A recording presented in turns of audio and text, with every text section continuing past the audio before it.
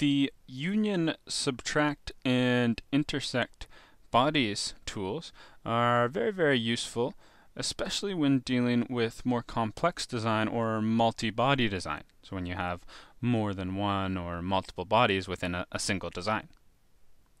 So to take a look at the use of these tools, let's first take a look at this kind of shape design here. Like a plastic meshing or netting here for an enclosure. We can see it's a fairly complex shape. It's kind of revolved and extruded and curved in some kind of complex ways and shapes.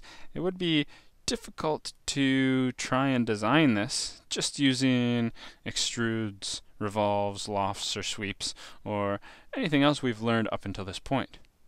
What we can actually do is use the union, subtract, and intersect bodies commands to use combinations of designs. So, how this part was actually created was a fairly simple process. So to create that more complex body, it was actually generated by two fairly simple bodies. You just have this white shape here, which is just a very simple extrude as we can see. And then we have this red shape here,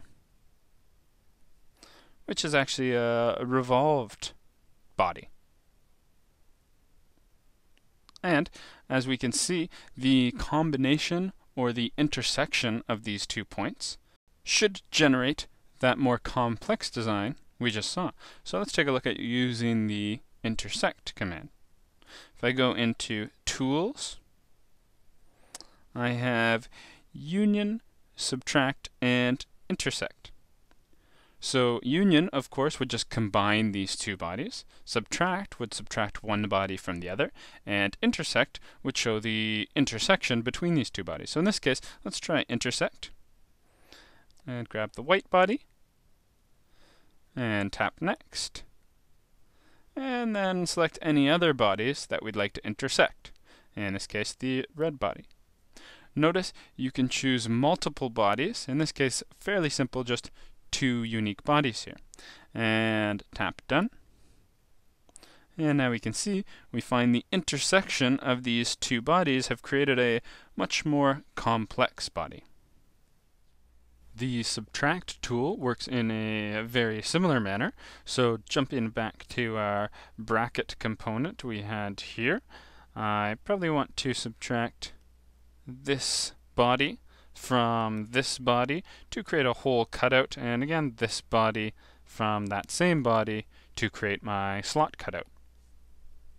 So to do this I'll just go into my tools, subtract, and first it's going to ask me to select the bodies or groups to remove or subtract from. So that would be my main body here. And tap next. And now select the bodies or groups to remove or subtract.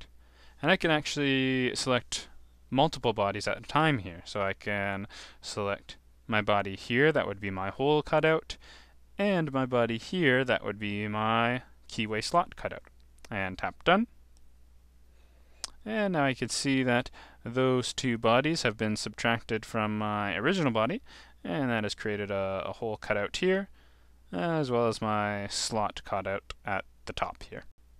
A better example of where union may be more useful for us is again going back to our initial bracket design.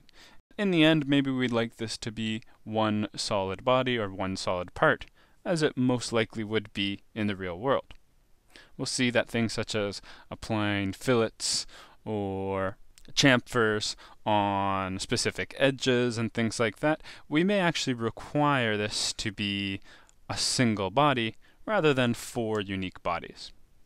So for example, if I wanted to fillet this edge right here, I'm going to see that it's not exactly doing what I'm looking for, as right now these are two unique bodies and not just one part.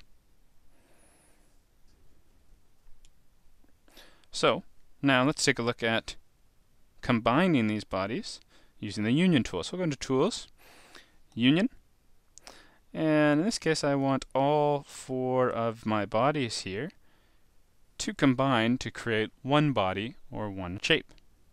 Tap Done. And now notice, if I double tap anywhere, it's going to grab this entire design. Again, why this is important is now, taking a look at my edge here, I should be able to apply a proper fillet, or chamfer, as this is all one solid body and not multiple unique parts. In the next lesson, we'll take a look at importing images, which can be a great first step in starting off your designs.